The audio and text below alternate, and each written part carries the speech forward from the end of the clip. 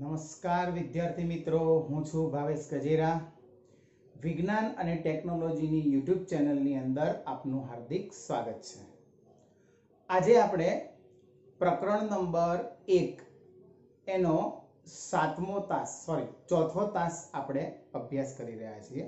આમ તો આપણે જ્યારે જ્યારે પણ લિંક આપીએ છીએ, એક સાથે બબ્બે વિડીયોની લિંક આપીએ છીએ. લિંક આપવાનું કારણ તમને ખબર જ છે કે આપણે નજીકના સમયમાં એકમ કસોટી આવી રહી છે. એટલે આપણે એકમ કસોટીને તૈયારીના ભાગરૂપે એ સમયસર અભ્યાસક્રમ પૂરો થાય એ માટે આપણે એક સાથે બબ્બે વીડિયો મૂકી રહ્યા હતા. આજના લેક્ચરમાં આપણે એક જ વીડિયો મૂકીશું. તો આ તાસની અંદર આપણને આપ્યું છે ગલન ગુપ્ત ઉષ્મા. હવે એના પહેલા આપણે ગલન બિંદુ વિશેની વાત કરી લઈએ.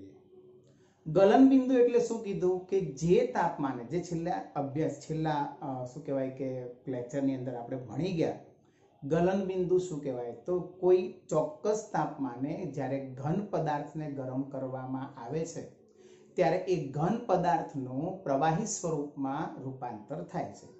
જે તાપમાને ઘન પદાર્થનું પ્રવાહી સ્વરૂપમાં રૂપાંતર થાય, તે તાપમાનને કહેવાય તે પદાર્થનું ગલન બિંદુ.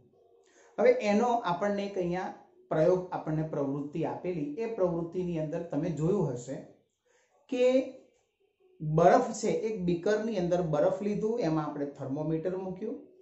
થર્મોમીટર મૂક્યા પછી જ્યારે આપણે એ બરફને ગરમ કરવાની શરૂઆત કરીએ છીએ, ગરમ કરવાનું શરૂ કરીએ છીએ, ત્યારે થર્મોમીટરની અંદર તાપમાન ઝીરો અંશ સેલ્સિયસ થઈ ગયું. હવે આપણે એને ગરમ કરવાનું શરૂ કર્યું. અહીંયા જે બરફ છે, બરફનું પાણીમાં રૂપાંતર થવાનું શરૂ થયું. પણ તાપમાન જે છે, એ ઝીરો અંશ સેલ્સિયસથી આગળ વધતું નથી. તો જોજો તમે. એવું કીધું છે કે બરફ ઝીરો અંશ સેલ્સિયસ તાપમાને આપણે જ્યારે આપીએ છીએ, ગરમ કરવાનું તો માઇનસમાં આપણે શરૂ કરી દીધું. જેમ જેમ ગરમ શરૂ, જેમ જેમ આપણે ગરમ કરવાનું શરૂ કર્યું, તાપમાન જે માઇનસમાં હતું એ ધીમે ધીમે વધતું વધતું ઝીરો અંશ સેલ્સિયસે પહોંચ્યું. ઝીરો અંશ સેલ્સિયસે પહોંચ્યા પછી બરફનું પાણીમાં રૂપાંતર થાય.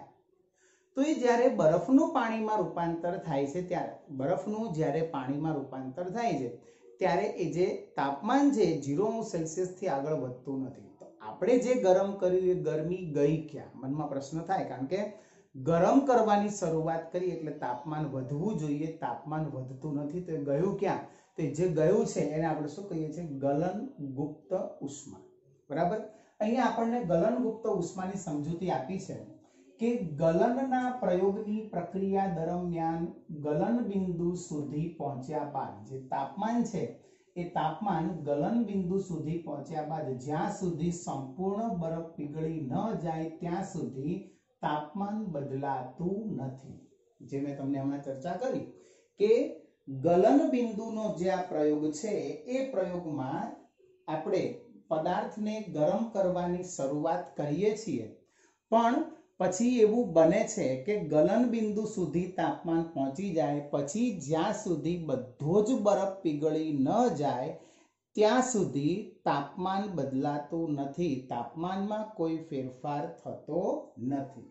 એટલે અહીંયા એવું કીધું છે કે બીકરને ગરમી આપવા છતાં તાપમાન અચળ રહે છે. આપણે નીચેથી બર્નર કે સ્પિરિટ લેમ્પ હટાવ્યો નથી. એ જ્યાં છે, એમનો એમ જ છે. તેમ છતાં તેમ છતાં આપણે એ જે પદાર્થ છે, એ પદાર્થનું તાપમાન વધતું નથી, અચળ રહે છે. આનું કારણ શું? તો ગલન બિંદુ એટલે આપણે શું કીધું કે કણો વચ્ચે જે આકર્ષણ બળ છે, એ આકર્ષણ બળની ઉપરવટ જઈને આપણે જે ઊર્જા આપીએ એ ઉર્જાથી એનું આકર્ષણ બળ તૂટે અને પ્રવાહીમાંથી વાયુ સ્વરૂપમાં રૂપાંતર થાય. કણો વચ્ચેનું પારસ્પરિક આકર્ષણ બળની ઉપરવટ જઈને દ્રવ્યની અવસ્થા બદલવા માટે ઉષ્માનો ઉપયોગ થાય છે. આપણે જે ગરમી આપી રહ્યા, અહીંયા જે તાપમાન અચળ થાય, તાપમાન અચળ થયા, ઝીરો અંશ સેલ્સિયસે તાપમાન પહોંચ્યા પછી આપણે એને જે કંઈ બી ગરમી આપીએ છીએ, એ બધી ગરમીનો ઉપયોગ ક્યાં થાય છે? તો કણો વચ્ચે પારસ્પરિક આકર્ષણ બળની ઉપરવટ જઈને દ્રવ્યની અવસ્થા બદલવા માટે એ ઉપયોગ થાય છે. પરંતુ અહીંયા શું છે? તાપમાનમાં કોઈ પણ ફેરફાર થતો નથી અને એ જે કણ છે, એ કણ બધી જ ઊર્જા, ઉષ્મા ઊર્જા શોષી લે છે.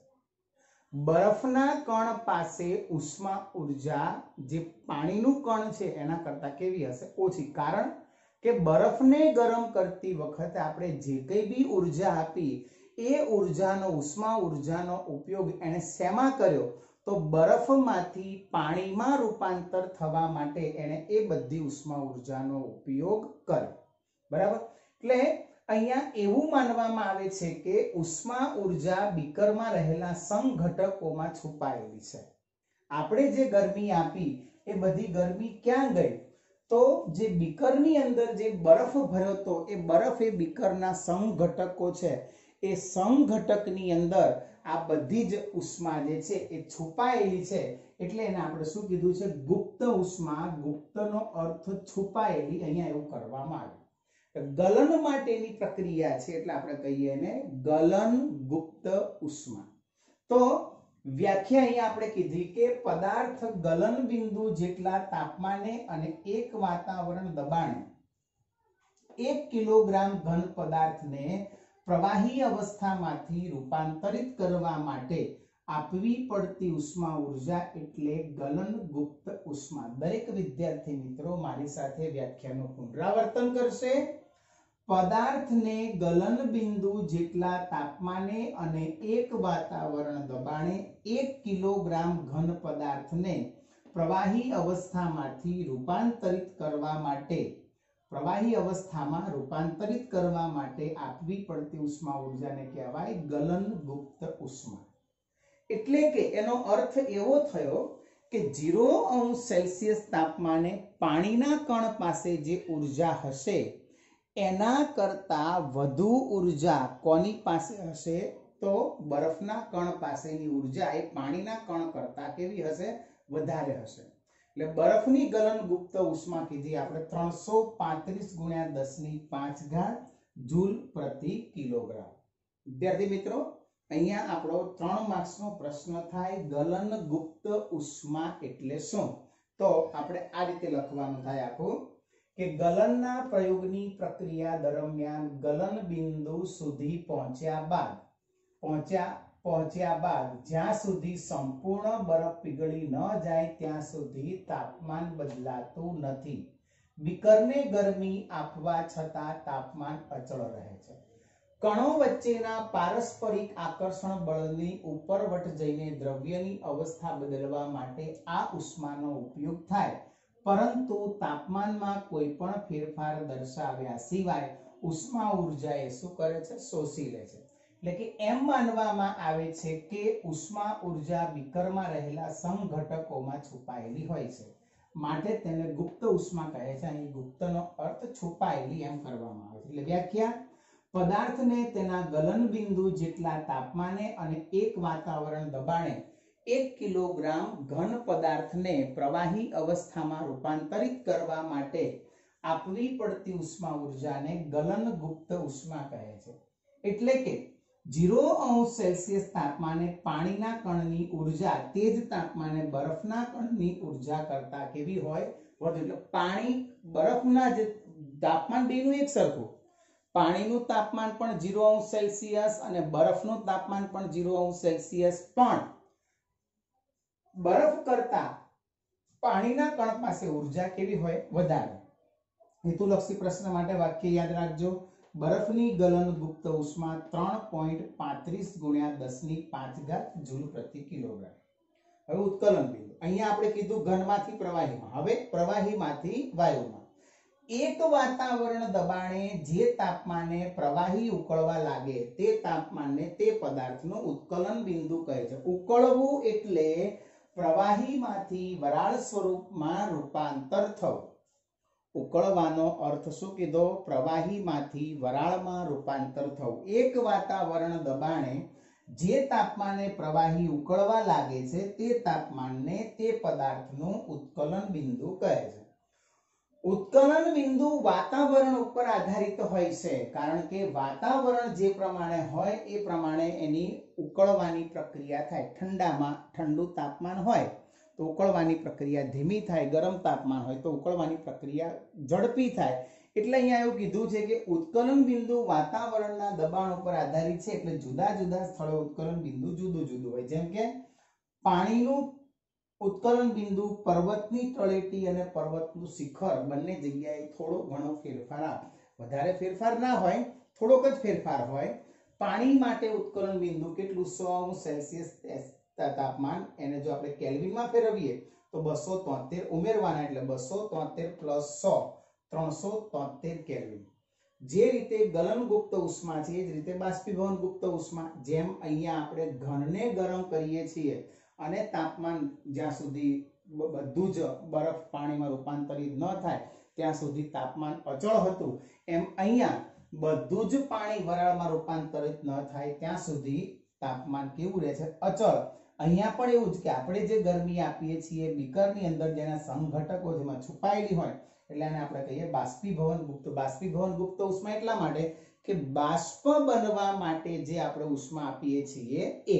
તો વ્યાખ્યા થાય કે પદાર્થને તેના ઉત્કલન બિંદુ જેટલા તાપમાને એક વાતાવરણ દબાણે એક કિલોગ્રામ પ્રવાહીને વાયુ સ્વરૂપમાં રૂપાંતરિત કરવા માટે આપવી પડતી જરૂરી ઉષ્મા ઊર્જા એટલે બાષ્પીભવન ગુપ્ત ઉષ્મા. વિદ્યાર્થી મિત્રો, મારી સાથે દરેક જણા વ્યાખ્યાનું ફરીથી પુનરાવર્તન કરશે. પદાર્થને તેના ઉત્કલન બિંદુ જેટલા તાપમાને અને એક વાતાવરણ દબાણે એક કિલોગ્રામ પ્રવાહીને વાયુ સ્વરૂપમાં રૂપાંતરિત કરવા માટે આપવી પડતું જરૂરી ઉષ્મા ઊર્જા એટલે બાષ્પીભવન ગુપ્ત ઉષ્મા. આનો અર્થ જેમ અહીંયા કીધું બરફ અને પાણી માટે, એમ અહીંયા પાણી અને વરાળ માટે કે ત્રણસો તોતેર કેલ્વિન તાપમાને પાણીની બાષ્પના કણોમાં રહેલી ઊર્જા તે જ તાપમાને રહેલા પાણી કરતા કેવી હોય વધારે. યાદ રાખો, યાદ કરો યાદ રાખો વિદ્યાર્થી મિત્રો કે પાણી પાસે જે ઊર્જા હોય, એના કરતા વધારે ઊર્જા એના વરા, એની વરાળ પાસે હોય. બરાબર? એટલે પાણી, ગરમ પાણી માંથી જેટલું દજાય છે, એના કરતાં વધારે દજાણ આપણને શેનાથી થાય? તો પાણીની વરાળથી દજાય. એટલે ગરમ પાણી કરતાં પાણીની વરાળથી વધુ દજાય છે. આટલું બાષ્પીભવન ગુપ્ત ઉષ્મા વિશે. ફરીથી વખત પદાર્થને તેના ઉત્કલન બિંદુ જેટલા તાપમાને અને એક વાતાવરણ દબાણે એક કિલોગ્રામ પ્રવાહીને વાયુ સ્વરૂપમાં રૂપાંતરિત કરવા માટે આપવી પડતી જરૂરી ઉષ્મા ઊર્જા એટલે બાષ્પીભવન ગુપ્ત ઉષ્મા. ત્રણસો તોતેર કેલ્વિન તાપમાને પાણીની બાષ્પના કણોમાં રહેલી ઊર્જા. તે જ તાપમાને રહેલા પાણી કરતા વધુ હોય છે. એટલે કે ગરમ પાણી કરતા પાણીની વરાળથી વધુ દજાય છે. વરાળથી જેટલું દાજ લાગે છે એટલી પાણીથી લાગતી નથી. બરાબર? દ્રવ્યની અવસ્થા ઉપર તાપમાનની અસર અહીંયા આપણે ચાર્ટ સ્વરૂપે દર્શાવ્યું છે કે ઘન અવસ્થા હોય અને એને ગરમ કરીએ, ઉષ્મા આપીએ, તો સામા રૂપાંતરિત થાય પ્રવાહી અવસ્થામાં. પ્રવાહી અવસ્થાને ગરમ કરીએ એટલે સામા રૂપાંતરિત થાય વાયુ અવસ્થામાં. આ જ વસ્તુ ઊંધી કરવામાં આવે, વાયુ અવસ્થાને આપણે ઠંડુ કરીએ. વરાળને ઠંડી પાડો તો શું બને? પાણી. અને પાણીને ઠંડુ પાડો તો શું બને? બરફ. એટલે વાયુ અવસ્થાને ઠંડુ કરીએ તો પ્રવાહીમાં અને પ્રવાહીને ઠંડુ કરો તો સામાં રૂપાંતરિત થાય ઘન સ્વરૂપમાં. અત્યારે હાલ વચ્ચેના ભાગમાં જ ધ્યાન આપવાનું છે કે ઘન અવસ્થા હોય ગરમ કરો તો પ્રવાહી પ્રવાહી અવસ્થા હોય ગરમ કરો તો વાયુ.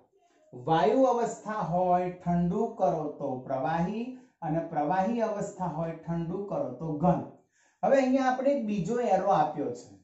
કેટલાક પદાર્થો એવા હોય કે જેને ગરમ કરીએ એટલે પ્રવાહીમાં રૂપાંતર થયા સિવાય સીધું જ વાયુ સ્વરૂપમાં રૂપાંતરિત થાય. વચ્ચેનું સ્ટેશન લેવામાં આવતું નથી. એક્સપ્રેસ બરાબર? દુરંતો એક્સપ્રેસ અમદાવાદથી ઉપડે એટલે સીધી બોમ્બે જ જાય. એના જેવું. ઘન અવસ્થામાંથી ઉપડે સીધો જ વાયુ સ્વરૂપમાં એનું એ જાય અને વાયુમાંથી ઉપડે એટલે સીધું જ શું આવે? ઘન. આવી રીતે કહી શકાય કે કેટલાક પદાર્થો એવા છે કે જેને આપણે ઘન અવસ્થામાંથી ગરમ કરીએ એટલે સીધું જ વાયુ સ્વરૂપમાં અને વાયુને ગરમ કરીએ એટલે સીધું જ ઘન સ્વરૂપમાં રૂપાંતરિત થાય. આ જે પદાર્થો આ પ્રકારનો ગુણધર્મ ધરાવે છે એ પદાર્થોને આપણે કહીએ છીએ ઉર્ધ્વપાતી પદાર્થ. પ્રવાહીમાંથી સોરી વાયુમાંથી સીધું ઘન અને ઘનમાંથી સીધું વાયુ. તો એવા પદાર્થને કહેવાય ઉર્ધ્વપાતી પદાર્થ અને આ પ્રક્રિયાને કહેવાય ઉર્ધ્વપાતન દાખલા તરીકે, કપૂર અને નવસાર, એમોનિયમ ક્લોરાઇડ અને ડામરની ગોળી. અહીંયા આપણને પાઠ્યપુસ્તકની અંદર પ્રવૃત્તિ નંબર એક પોઈન્ટ તેર આ પ્રકારની આકૃતિ વાળી આપ્યું છે.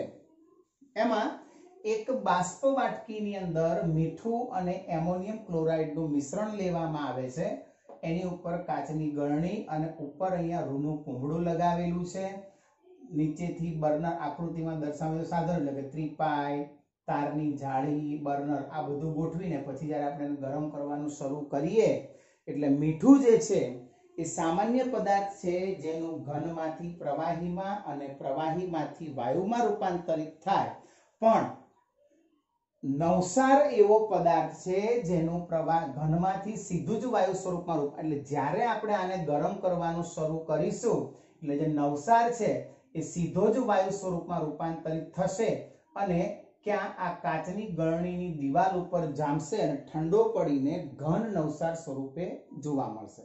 એટલે ઘનમાંથી સીધું જ વાયુમાં અને વાયુમાંથી સીધું જ ઘનમાં અહીંયા પ્રક્રિયા દરમિયાન આ જે બાષ્પ વાટકી છે, એમાં તમને કોઈ જ પ્રવાહી જોવા મળશે નહીં.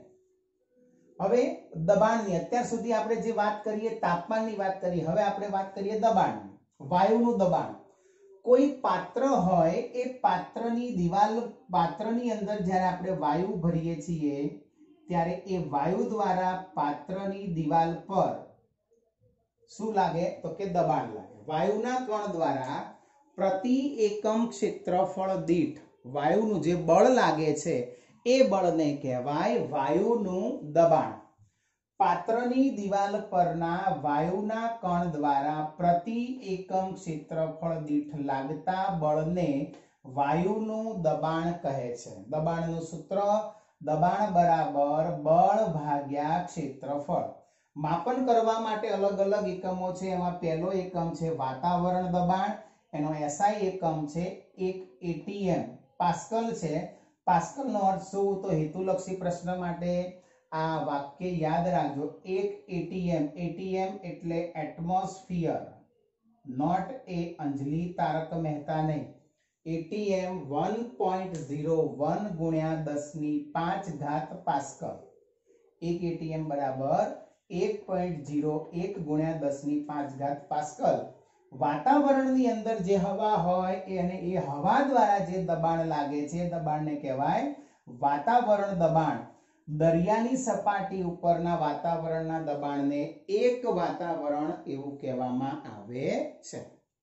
વિદ્યાર્થી મિત્રો, અહીંયા આજના તાસને આપણે અહીંયા વિરામ આપીએ છીએ. આજના તાસ દરમિયાન આપણે ગલન ગુપ્ત ઉષ્મા, ઉત્કલન બિંદુ, બાષ્પીભવન ગુપ્ત ઉષ્મા, દ્રવ્યની અવસ્થા ઉપર તાપમાનની અસર, એક પ્રવૃત્તિ અને વાયુના દબાણ વિશેની સમજૂતી આટલું આપણે ભણ્યા. બરાબર? નવો વીડિયો અપલોડ થાય ત્યાં સુધી સૌ વિદ્યાર્થી મિત્રોને જય સ્વામિનારાયણ.